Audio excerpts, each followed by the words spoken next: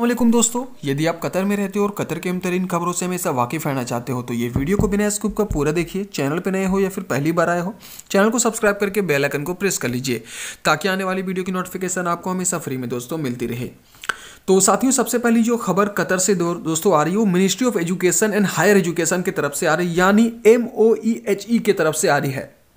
Ministry of education की तरफ़ से डिसाइड किया गया है कि जितने भी वहाँ पे पब्लिक स्कूल प्राइवेट स्कूल जितने भी वहाँ पे हैं, उसे 100 परसेंट कैपेसिटी के साथ खोला जाएगा 30 जनवरी से। तो यानी दोस्तों, दो दिन के बाद लगभग जितनी भी स्कूलें हैं, कॉलेजेस में सभी को खोल सभी को खोल दिया जाएगा, सभी बच्चों के आने की अनुमति होगी। बताया इसमें यह गया कि adopting the actual attendance system for all student in public and private school hundred percent और यह भी बताया गया कि दोस्तों रैपिड एंटीजन उसको करवाना है, जो कि कोविड नाइन्टीन का वैक्सीन को नहीं लिए। हैं तो दोस्तों, ये नियम होगा मिनिस्ट्री ऑफ़ एजुकेशन की तरफ़ से ये अनाउंसमेंट कर दिया गया है। अगली खबर दोस्तों जो आ रही है वो साथियों एमओपीएच की तरफ़ से आ रही है। एमओपीएच की तरफ़ से दोस्तों एक नया लिस्ट निकाला गया है रेड लिस्ट कंट्री के बारे में ग्रीन लिस्ट कंट्री और एक्सेप्शनल रेड लिस्ट कंट्री के बारे में लिस्ट निकाली गई है। तो यदि इसके बारे में पूरे डिटेल के साथ आप देखना चाहते हो तो आप एमओपीएच के ऑफिशियल वेबसाइट पर देख सकते हो। वैसे मैं आपको फिर भी बता दे रहा हूँ एक्सेप्शनल कंट्री जो रेड लिस्ट में आया है, जिसे हारिस कंट्री कहा जाता है फिलीपींस उसमें ऐड किया गया। पहले फिलीपींस नहीं था, उसे अब नया ऐड किया गया। बांग्लादेश इजिप्ट इंडिया नेपाल और पाकिस्तान पहले से इसमें शामिल है।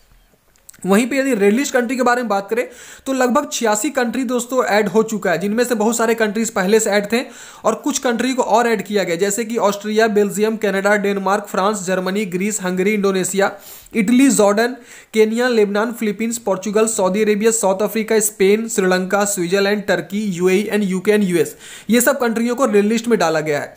अब ग्रीन लिस्ट कंट्री के बारे में बात करें दोस्तों, लगभग 117 कंट्रियों को एक, वहाँ पे ग्रीन लिस्ट में डाला गया, जिनमें से इस बार जो कंट्री को डाला गया है, Afghanistan, Argentina, Bahrain, Brazil, China, Cuba, Iran, Japan, Malaysia, Mexico, Oman, Palestine Russia Singapore, Syria, and Vietnam. इस बार दोस्तों इन सभी को डाला गया है। अगली जो अपडेट दोस्तों आ रही है, वो साथ ही आ रही है मिनिस्ट्री ऑफ़ औकाफ की तरफ़ से ministry of endowment औकाफ and Islamic affair की तरफ़ से। उनके तरफ़ से अनाउंसमेंट कर दिया गया कि 29 जनवरी से जितनी भी मस्जिदें हैं, वहाँ पे बच्चों को अब जो रिस्ट्रिक्शन लगाया गया था, उस रिस्ट्रिक्शन को अब हटा लिया जाता है और वहाँ पर वज़ू खाना खुला रहेगा बाथरूम वगैरह खुला रहेगा। ऐतराज एप्लीकेशन बस आपके मोबाइल पे होना चाहिए डाउनलोडेड होना चाहिए। बाकी आप लोग यदि ग्रीन शो करता है तो आप लोग एंट्री ले सकते हो। अब साथियों, बात करें तो हम लोग कोविड नाइन्टीन की ताज़ा अपडेट के बारे में। तब तक वहाँ पे छप्पन लाख बानवे हज़ार सात सौ पाँच लोगों को कोविड की वैक्सीन दी जा चुकी है। चौबीस घंटे में सैंतीस हज़ार चार सौ अट्ठाईस लोगों को दिया गया। टोटल वहाँ पे बूस्टर डोज के बारे में बात करें तो सात लाख चार हज़ार तीन सौ इक्कीस लोगों को अब तक बूस्टर डोज वहाँ पे दिया जा चुका है। अब तक वहाँ पे दो लाख संतानवे हज़ार एक सौ सड़सठ लोग रिकवर हो चुके हैं। चौबीस घंटे में दोस्तों, बताना चाहूँगा आपको, तीन हज़ार नौ सौ पचासी लोग ठीक हुए एक्टिव केस वहाँ पे तैंतीस हज़ार तैंतालीस है और यदि हम लोग 24 घंटे में बात करें केस आने की तो लगभग 2100 से 2100 केस आया जिनमें से सोलह लोग कतर में केस पॉजिटिव आए हैं, पाँच पैंतीस लोग जो है वो ट्रैवलर थे। 24 घंटा में एक लोगों की मौत हुई, टोटल वहाँ पर छः लोग अब तक कोरोना वायरस से मारे जा चुके हैं। तो दोस्तों, ये पूरी ताज़ा अपडेट थी कोविड नाइन्टीन की। और यदि कोई भी आपको स्वास्थ्य को लेकर प्रॉब्लम हो रहा है तो वन सिक्स ट्रिपल ज़ीरो पर आप कॉल कर सकते हैं। और दोस्तों, बताना चाहूँगा आपको कि लगभग वहाँ पे छियासी पॉइंट नौ परसेंट लोगों को अब तक वहाँ पे फुल्ली वैक्सीनेटेड किया जा चुका है। एमओपीएच की तरफ़ से दोस्तों, ये ताज़ा अपडेट दी गई है कि अब तक वहाँ पर छियासी लोगों को फुली वैक्सीनेटेड किया जा चुका है। अगली जो अपडेट दोस्तों वाले साथियों बताना चाहूँगा आपको, कतर नेशनल लाइब्रेरी को फिर से ओपन कर दिया गया है, जो टाइमिंग थी वही टाइमिंग रखा गया है।